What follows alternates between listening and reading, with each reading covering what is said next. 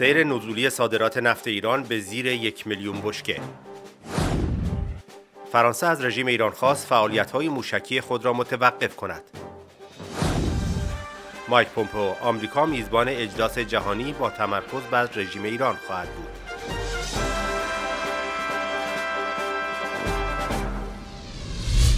خبرگزاری رویترز گزارش داد با وجود تلاش رژیم ایران برای یافتن مشتریان جدید امکان دارد صادرات نفت ایران در ژانویه هم روند نزولی داشته باشد.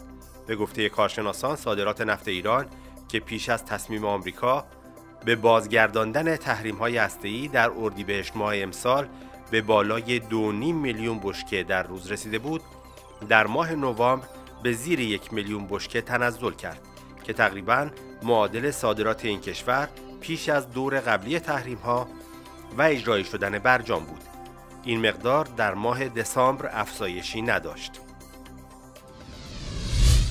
فرانسه روز جمعه از رژیم ایران خواست تا فورا تمامی های مرتبط با های بالستیک خود را که می توانند تسلیحات اتمی حمل کنند را متوقف کند. به گزارش خبرگزاری رویترز، سخنگوی وزارت خارجه فرانسه در کنفرانس خبری روزانه به خبرنگاران گفت فرانسه تاکید می کند برنامه موشکی رژیم ایران همخوان با قطعنامه 2231 شورای امنیت سازمان ملل نیست. سایت وزارت خارجه آمریکا از سفر مایک پومپو به کشورهای خلیج فارس گزارش داد.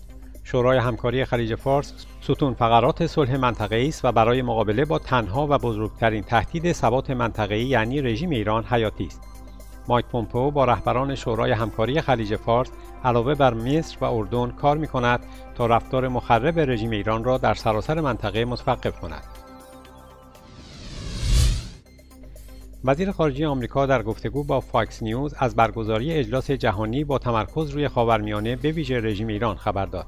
مایک پومپو در این مصاحبه زمان برگزاری این اجلاس را 24 و 25 بهمن و محل آن را لهستان اعلام کرد و افزود کشورها گرد هم میآیند تا به صلح، ثبات، آزادی و امنیت منطقه خاورمیانه بپردازند و اطمینان حاصل کنند رژیم ایران یک نیروی بی کننده نخواهد بود.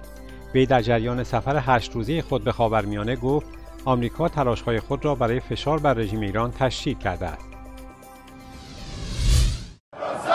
21 دیما جمعه نمایشگاه خودرو روبروی و ایران خودرو. روز جمعه مشتریان ایران خودرو و سایپا در اعتراض به قیمتگذاری محصولات این دو شرکت و تحویل ندادن خودرو در نمایشگاه خودرو تهران تجمع و راهپیمایی کردند. آنها شعار می‌دادند استعفا استعفا. بی کفایت. استعفا